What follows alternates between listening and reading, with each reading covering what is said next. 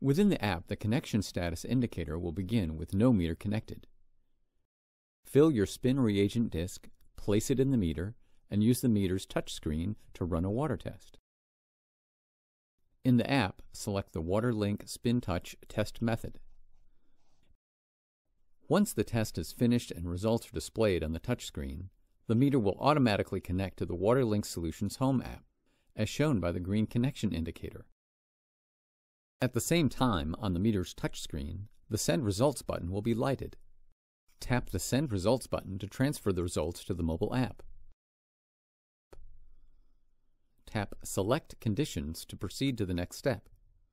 Check the boxes next to any conditions the water is experiencing. Leave them unchecked if none apply. Tap the Generate Report button to view treatment recommendations. When you are finished testing, be sure to power off your WaterLink SpinTouch meter.